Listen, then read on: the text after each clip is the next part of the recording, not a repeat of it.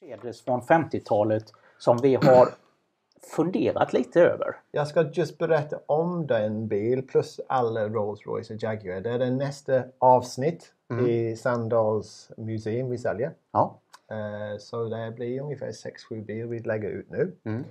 Och sen vi har en tredjedel och en fjärdedel som Okej. kommer ut i eh, två, tre veckor och påsk. ja. Så här är den eh, Mercedes eh, 170 från 1951.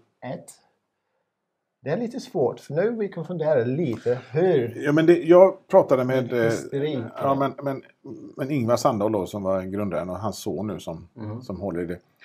Jag frågade honom just, Mm. för vi hade ju på förra auktionen hade vi ju ett gäng dieselmärsor. Precis. Eh, och, då, då, och den här ingick i den. Frågade, Varför har man ett gäng kompaktdieslar? Jo men det var just det. Ja men jag kanske ska ha en, en, em, en kompakt, alltså Mercedes kompakt diesel. Från, alla Från varje serier. serie. Och då kom det 190 och det var 170 och det var 180 med den bullmersan.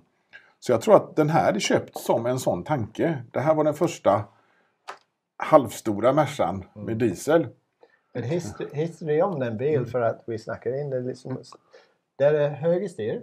Ja, exakt. Där är miles per hour speedometer. Mm. Kil- kilometer. Där är diesel. Mm. Så vi ska få, vad tror du? Jag tror att, Plus det är svenskt såld. att vi, 1951 då så blev, kom det en avbeställning från England eller Australien eller någon sån marknad.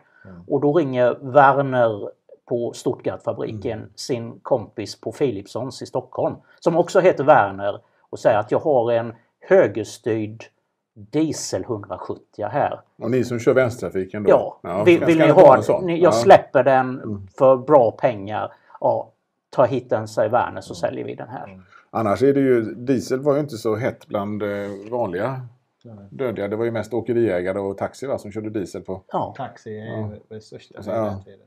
Ja, det, det, alltså det är ju... eh, Men kanske det var inte så krav på den tiden att ha en eh, i kilometerräkning. Det är mycket möjligt. Nej, då, då var det ju fri fart. Ja. På motor, när motorvägarna kom så det var väl fri fart utanför samhällena då på den tiden, var det inte så? Ja, jag Så tror för, för fri fart var det på de här första motorvägarna. Mm. Eh, och, men men det blev, när det blev högertrafik så blev, så blev det hastighetsbegränsning. Okej. Tror jag det var. Och då, då kan man ju säga det här är ju ingen fartfantom på, nå- på något sätt. Men den, den, har, den har någon form av, när vi går tillbaka, den har någon form av brittisk taxifeeling över sig Mm, någonstans va? Har den inte det? Det här är ju det här är en modell och detta måste jag erkänna, det har jag ju läst mig till, jag kunde inte det innan. Den kom ju redan 35 så att det är en förkrigsmodell Exakt. som tillverkades ända fram till 1955. Ja, men det var väl för att de fick, de fick väl fortsätta på det inslagna, vad, som, Ja. vad de hade att Man tillgå. gjorde uppehåll Ja, 39-45. ja, ja. Och, eh, Ja, nej, den men det är känns ju mycket... gammal i sig för att vara 50-talare så känns den ju grymt gammal. Men Åh, titta där, vindrutetorkaren uppe på. Bilen i botten är en solid bil. Den Mm. har stått i museum för 50 år. Mm. Men det behövs eh, riktigt bra uppstartsservice och fixa broms och allt. För just nu- Uppstart, du behöver inte ens göra, du behöver helservice väl? Ja, Ja. hellservice. Men vi är inte, vi är inte startade. Nej, Det är ju en spännande inredning måste jag ju säga. Mm. men den ser glad ut. Ja, den, den ser ju klatschig ut. Och den här, eh, den här lilla glöd, glödtråds, eller den här glödningen med den, den liten metall eh, som, med hål. Alltså man ska titta i. När Ja. man ser att det, kommer, det... det- ser ut som det är en sån här cigarettändare. Ja, ja. Den finns ju på den här också. Det är ju så det är på Bullmercan på 190 och på 220 och den som vi sålde.